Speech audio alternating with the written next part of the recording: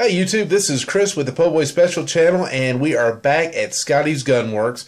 You can see that's a sign on the outside of his door, and there's his hours of operation if you ever were wondering. And then let's go talk to Scotty real quick. Oh, he's missing. Uh oh. Yeah. There's there's somebody. Oh, there he is. hey Scott, how's it going? Going real good. Yeah, how you doing tonight? Doing really good. Excellent, excellent. So we're over here. You see the camera out, bright lights in your eyes right now because I got a new camera that's got you know lights in your eyes. And uh, what are we gonna do tonight? Well, tonight we're going to put a, a recoil pad on a stock. We'll show everybody how we cut that. You know, fit it on there and cut it. Uh, the stock. I then went on ahead a little bit. Uh, the holes that the original recoil pad was walled out.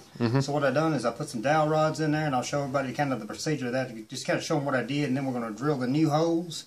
And then I'm going to cut the recoil pad. Awesome. Okay, well let's get to it.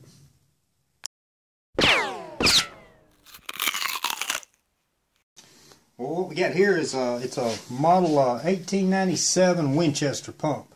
It's an old, uh, real old gun. So I see you've been doing some sanding on this. Yeah, thing. I'm gonna uh, refinish this stock right here uh, and the forearm. Of course, we got two of them there. We got two forearms there, you know, but we only got one stock. But anyway, uh, we're gonna put a uh, recoil pad on this. It was all walled out there, so I put some dowel rods in there. Okay.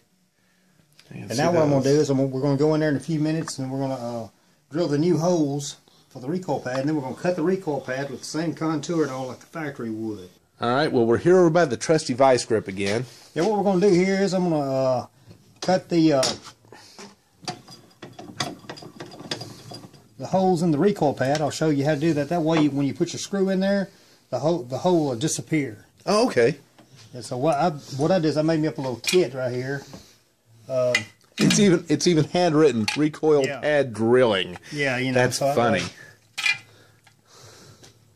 but uh, anyway, you just kind of put that on there and raise that like that. Then you'll take a razor blade.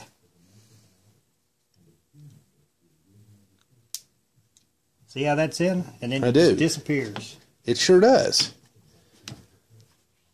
Okay. Same procedure right here. And I believe in the, in the directions, if you get a recoil pad, it'll, it'll probably show you how to do this.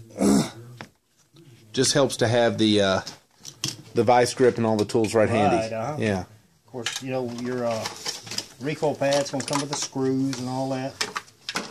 And I've got the uh, correct bit that we would use. and what I do, so I can make sure that I get this thing centered right on this stock.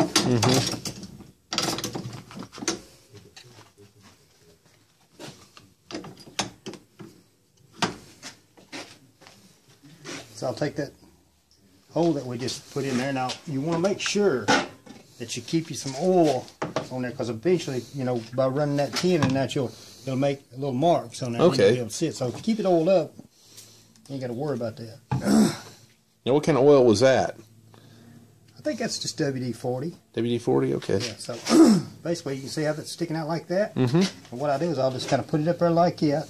Just kind of look at it, make sure I've got plenty of material there to work with. Make sure everything's good and evened up on each side. Let's see.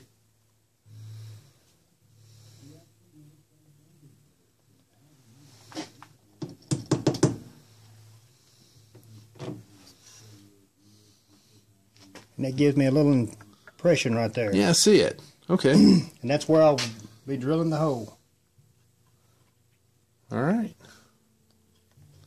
See if I can get this camera right for you. There it is right there. I'm just double checking myself. Mm-hmm. Take you a little hammer if you want a little bit deeper one. There it is. Then I'll just So, normal rule is measure twice, cut Yeah, once, and exactly. I think except for uh, gunsmithing where you measure ten times and cut once. Yeah, yeah, that's right. Because uh, you mess it up, you gotta eat it. Yeah, I heard that. Anyway, we'll just drill the hole in there right there. What little indiption is right there, making sure everything's good and straight. I always kind of look at that. it. That's okay. I always kind of look at it. And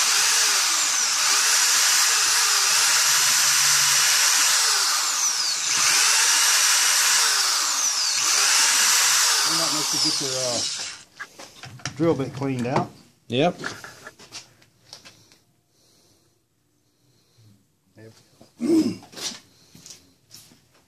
Now, why do you dri- Why do you drill the pilot hole like that?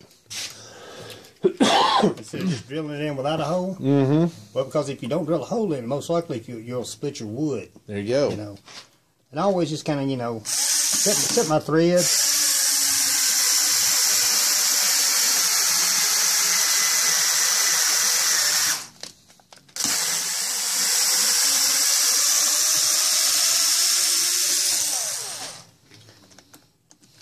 Of course, with this right here, you want to make sure you know when you put that in there that a little oil on it.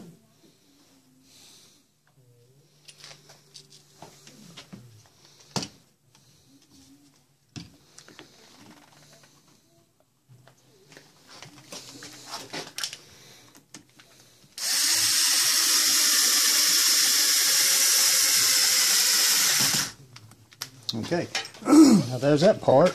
And it's completely hidden, just like you said. Exactly, yeah, you can't even tell it's there. No, sure can't. Now what I'm going to do now I is I'm missed gonna, it completely, Scotty. gonna- Turn that back around here. Okay, there you go. There you go. Yep, it really is gone. Wow. Now what I'm going to do now is I'm just going to kind of look at it, making sure there's plenty of uh, material on each side of the stock, Uh huh. making sure that, you know, when I cut that contour there, you know, that we don't run out and it's flat. Yeah, we we want it to run on down to a point. Of course, one of the good things about this stock right here is I'm going to refinish it. I ain't done through sanding it yet. Right now is a good time to put a recoil pad on it or a butt plate before you start, you know, putting your finish on. That way I can sand everything in together. Now, what kind of re- recoil pad is that? This here's a Pachmayr recoil pad. Pachmayr. Okay. Yeah, really good recoil pad. You want to get one that's going to fit the wood. This right here, I think, is a medium. And the reason why I say that is if you, uh, now this is a small, I'm sorry, but if I was to go with a medium or a large on this, what would happen is I would grind it down and I would grind down to a plate that's inside the recoil pad. So Okay. this one here calls for a small. That'll give me plenty of uh, material to cut off. And plus, I won't hit that metal plate that's in there. That makes sense. That's why you want to make sure you get the proper size. Same procedure right here. Again, just double check. Use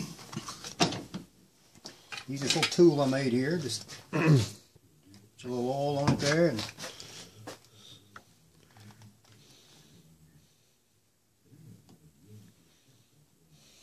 want to make that little indentation so we can do that drilling.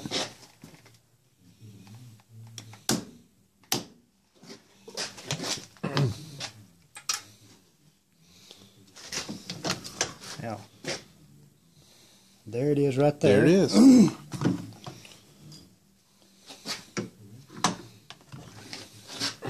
And on this one right here, you know, you'll want to kind of be careful. You don't want to come out the toe of that. Yeah. So,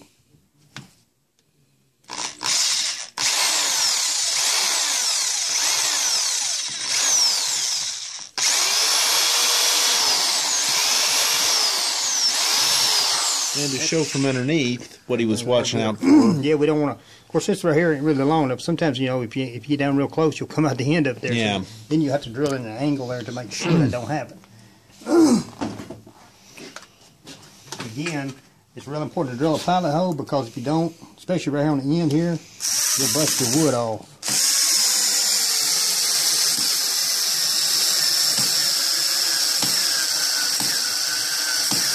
Important, it's really important too to have a drill bit that fits the screw here. This one is really a small one, but it'll do what we're going to do. We're going to it for. A little oil on that.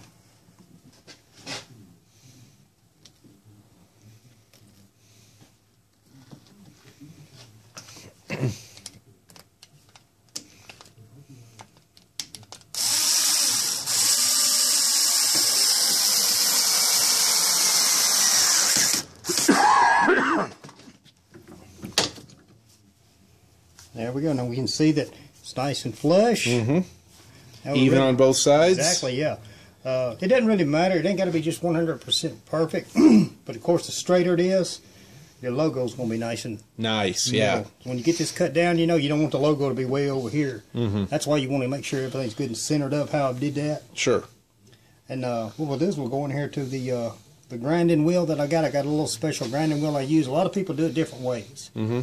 Now what I'm gonna do is I got a little little grinding wheel uh, with a sandpaper belt on it, and I find that that does a really good job at cutting these recoil pads down. So we'll go in here that. Okay, Scotty, and we got we got to show you in your uh, alien outfit here. Yeah, you want to make sure you put some, uh, put your little respirator on because you don't want to breathe this dust right here. Uh, All right.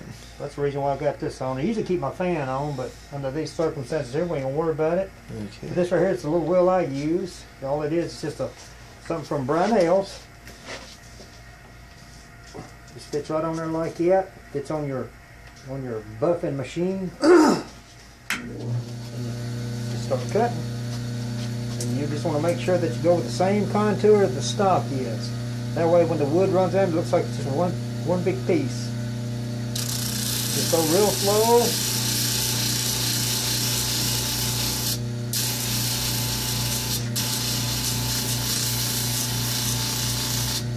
Normally what I would do, and I'll probably do it just, just for the video, probably take a pause here, and I'll put some tape around that. The reason why I didn't do it this time is because uh, I'm going to finish sanding this and, and put a finish on it, so if I get into the wood a little bit, it ain't going to matter. But usually I'd put a piece of tape there on each side, all the way around it to kind of protect it. If I have the bucket, it won't take the finish off. It'll just hit the, uh, the tape.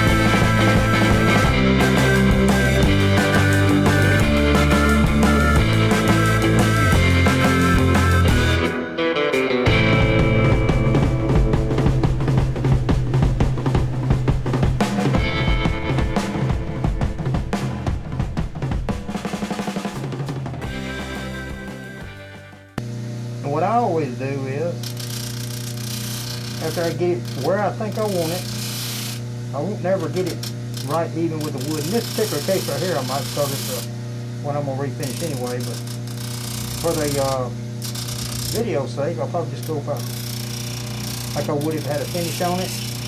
And then what I would do is take it off, and then I would just work it with the same contour we got here. You know. And I'll do that. We'll uh, stop the camera. I'll go ahead and take that recoil pad off. Then I'll come in here and I'll show you the finishing process for that. There. Okay, now I've been took it off the stop. And now right here, all we're going to do now is I'm just going to put it on the wheel, you know, and just kind of go over this right here, just make sure that uh, I don't have any dangers of touching the stock. But like I said, about a nice finish on that. This is how I would do that. Barely touch it. Keeping the contour. Make sure you're always on the drag mode. You don't stick it on like it because it, you know, pull it down like it. You want to have kind of a drag mode there. That's why I like this wheel because it's it's just the right width.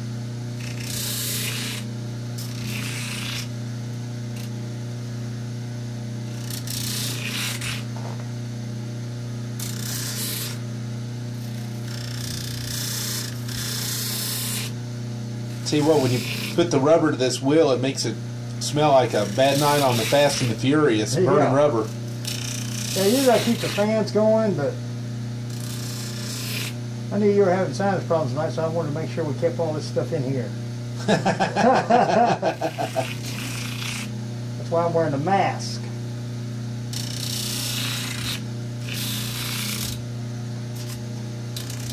And folks, I'm walking in and out. I'm not staying in here. Plus, it, that fan makes a lot of noise and they can't probably hear me that good.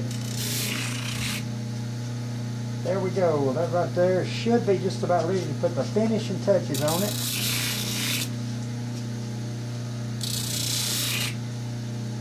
And I'm just kind of visually inspecting everything, looking at it, making sure there ain't no, uh, I want to make sure it's a nice smooth roundness. I don't want little cuts, you know what I'm saying? I want it to just be a, a nice rounding effect.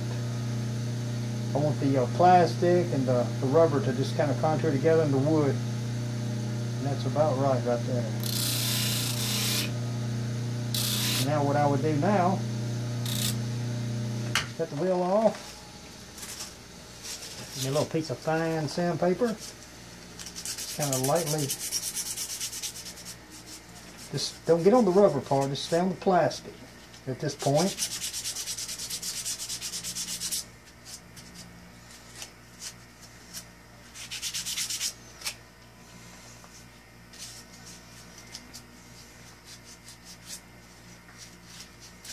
That's going to take care of any little imperfections in it. It's just going to going to bring it all in, blend it.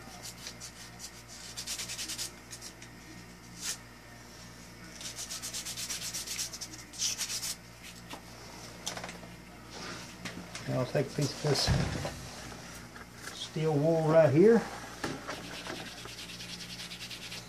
and hit it with that. So it's really close to woodworking, isn't it? Yeah, it's you know it's like anything. I mean, just whether you're using metal or recoil pad or whatever, it's just just whittling. That's all it boils down to. Shaking it out and making it fit. Now my next step is I would take this wheel right here off. Put it back up there in its little spot. I've got this wheel right here.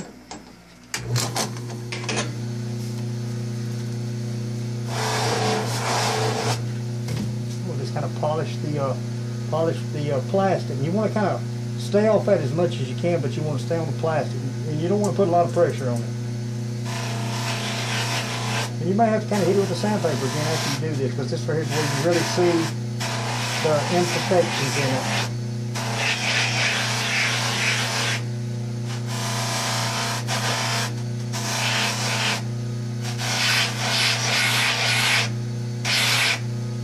Just kind of, you know, puts a finishing touch on it, gives it a little bit of a glow. Gives it a nice, uh, nice shine to it. Exactly, huh? Like it was uh, built that way. Yeah, like it's made that way. Again, keep your contours and everything, right? And what'll happen is, the more you polish on this, that plastic will get smaller and that piece of rubber stays the same size. So you want to make sure you don't over polish. You want to keep it uh, pretty much contour.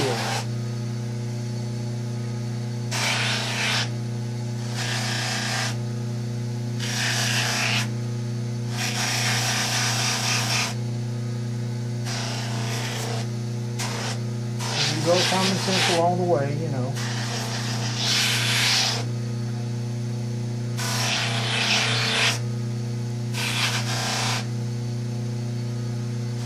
Can see some little imperfections there in it, and I'll just go back to the sandpaper. Kind of blend them in.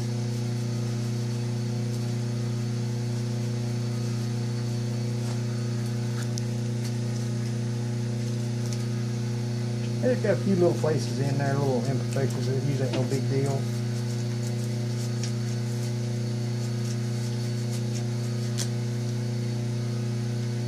But all in all, you want it to look perfect. I think if I was paying somebody to do this, I want them to do a perfect job. So I figure they expect the same thing.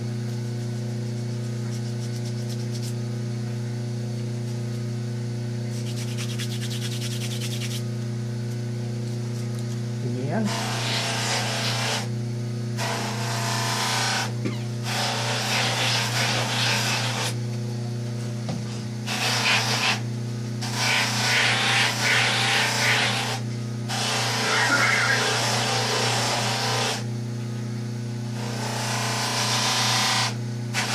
You don't want to uh, hit, hit it on there too hard because it'll, it'll start burning the uh, recoil pad.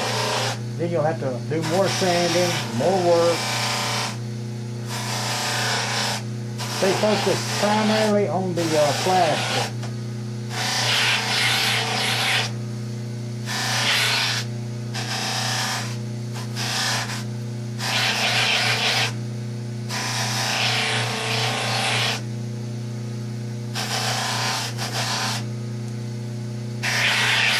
There we go. I that's pretty much it.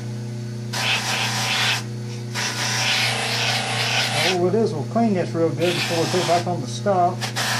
And then after we clean it, we can look at it and then we'll make a decision whether it's finished or not. If we think we need to come back in here and hit it again, we will. Uh, it looks to me like that right there is probably about what we need. Yeah, I'd say for video's sake, it right there probably looks about right. All right, let's go ahead and clean this up and put this back on the stock, and then you can see what it looks like on the stock. So, you finish with the grinding, you finish with the polishing. There it is. That's a finished product right there. Of Yeah. course, the stock, you know, like you said,